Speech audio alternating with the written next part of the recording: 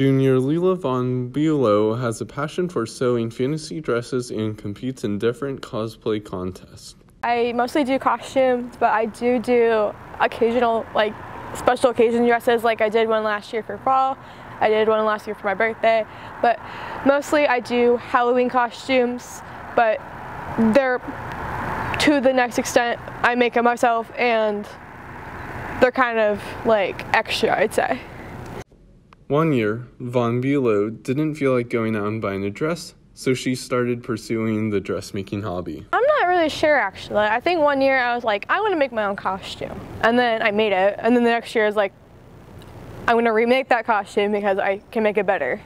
And I kind of spiraled, spiraled down from there as like a yearly tradition. Bulow uses the dresses that she makes for special events that she attends. I shop my dresses. I go and cosplay at like the Los Angeles Comic Con, which I'm hoping to go to, and the SacAnime one.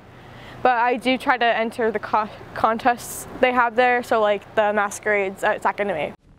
Being that dresses take a while to make, Bulow still finds a way to get her work. Actually, kind of a process to actually make a dress because so I first like find the inspiration, and if there's like a certain pattern I need to use, I need to find that certain pattern and um, if I don't have a pattern, I have to draft a pattern, which can take up to a week because it's so different because I have to drape it on myself and a mannequin. So, and then I have to make sure it fits me and then I have to put it on the right fabric and then I have to, because there's like so many layers that go into like a single thing that it takes a bit for each layer. Bulow constantly is coming up with different ways, patterns, and styles to make all of her dresses unique. I also do embroidery with my machine I recently got. I do, I, I've only done smaller things. I've done some things for my dresses, but I've done like shirts and stuff for my club.